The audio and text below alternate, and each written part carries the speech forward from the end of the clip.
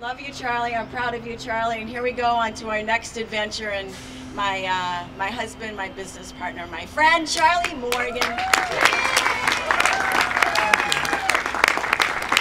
Let me, let me start with, with something that's very dear to my heart.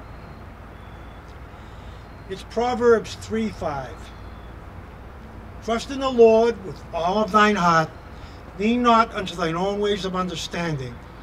In all ways acknowledge him, and he will direct your paths.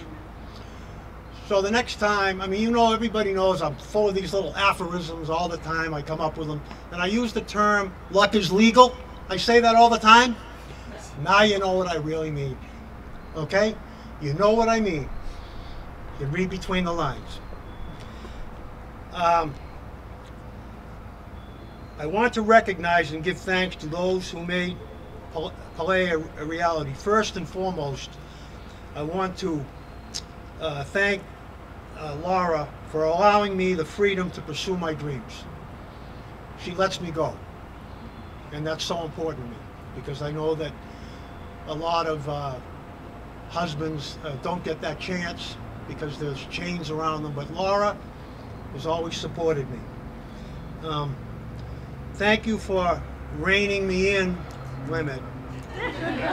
Thank you for reining me in when the checkbook is thin. That's very important. Okay?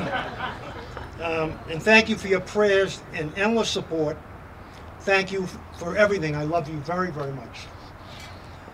I want to also uh, thank Dan Fawcett, my nephew, back here, okay, for, uh, for for being a great, a great sounding board. It's great to have a family member part of the business. I have never, Laura and I have never, ever taken on anybody as a partner. But we, we made a decision that uh, Dan was worthy of being a partner, and so he is he is involved, and we love him, and we love his family, Kate and the kids, and it's just just wonderful. I want to thank the mayor uh, Mayor Ted Gatsas and, and Frank Ginter, Kelly Ayer, Representative Romeo Dene for being here. Thank you so much, Mayor. And I wish you wouldn't kick me when I'm down so often, but. Just trying to teach you how to get up, Charlie. That's good. That was great. I want to thank the uh, the local banks for providing the funding. You know, without without money, nothing happens. I want to I want to recognize National Bank and, and, and, Steve Bradbury and Frank Tees is not here. And, and Steve, I promise you, and, I, and I'll hold to my promise, I will not be using the laces. okay? Provident Bank, Ray Lambert, uh, and Chuck Withy, thanks for doing uh, doing what the regional banks wouldn't do, and that's loaning to small business. It means a lot. If you guys didn't come forward, we, we just we wouldn't be able to do this and Bellwether Credit Union, Mike Pereira. Thank you very much, Mike, Thank you, Mike. For, for, your help. It was the three local community banks that were able to give us enough fuel to, to do all this, and so we're very grateful. And I want to recognize and thank the design and marketing team. Words can't des describe how I enjoyed working with you all. Okay? JL Design provided the interior design and decorating. June, you are an absolute amazing person. I can't get over your meticulous, fastidious attention to detail. Okay, your phone number has moved up.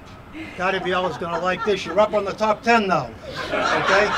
Because, because her and I are going to be doing a lot more together. She's a very bright girl in more ways than just designing. I have a high respect and regard for her opinion.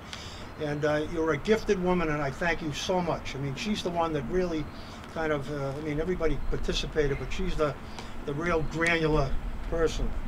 And uh, Sandpiper Artisans Graphic Design, Susan, you have spoiled me. There's Susan right here. You've spoiled me. I love everything that you do. You're a gifted woman. Thank you so much. And Has Optimization, Holly, you come, where's Holly? You come from another planet, okay? You did an incredible job creating the web and initiating our marketing campaigns. Everyone I speak with give you a 10. Thank you so much.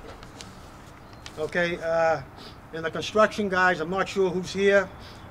I love working with the men. Okay, and uh, I just love, that's my bailiwick. I love getting in the Bobcat. I love digging holes. That's what I like to do. Um, the electrical work was provided by Total Power and Electric, Mike Canigliaro and Steve Boley are the owners. These guys understand electricity better than anyone. Ne- they never missed a beat, always on schedule. They do what they say they're going to do. Never wasted a minute. Thank you, Mike and Steve.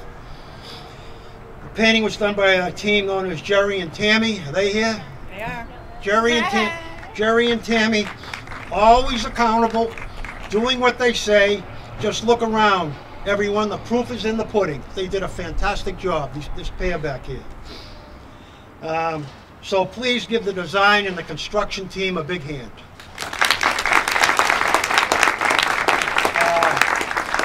All right, so I don't need this anymore.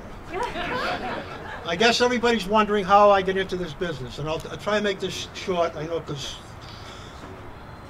we want to get it neat. But four years ago, I was sitting in the Red Arrow, having breakfast, like 7:30 in the morning, reading the Union Leader, and I come across an article that said uh, that uh, a, a company that was going public, public, and they were doing tattoo removal. So I read this article, and my head went up, and I looked. Click. It just hit me. I looked to the left. I looked to the right. I looked at the cook, and I said, "There's a business here." Okay, and I thought about it, and I started gathering data. I went out to websites, and I, and I kept finding articles, and I kept convincing myself and convincing myself that this this is a business that that, that can really, you know, be a home run. And then uh, you sort of know the rest of the story. Laura, uh, Laura come across Caroline, and uh, Carol this back in February, and and we talked, and we went back and forth, and I listened to the radio day in and day out. Um, but uh, we ended up, uh, you know, hooking in with the, the, the, design team, and and we did all the construction, and and here we are. So. I am very, very pleased and happy. I'm looking forward to this business. I think it's a great business. I think people like to look good. I think the baby boomers are a huge target.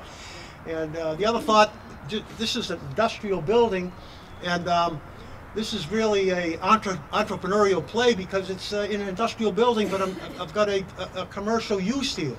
But my th- my thinking was, and again, it's a gift from the Lord that that when it comes to medical aesthetics, it's personal, and people want to. They don't want to be coming out of Main Street or coming out of uh, you know a gym uh, in front of people if they just had Botox. So it just happened to be that there was office space in this building, and uh, I decided that this is where we should uh, where we should do it.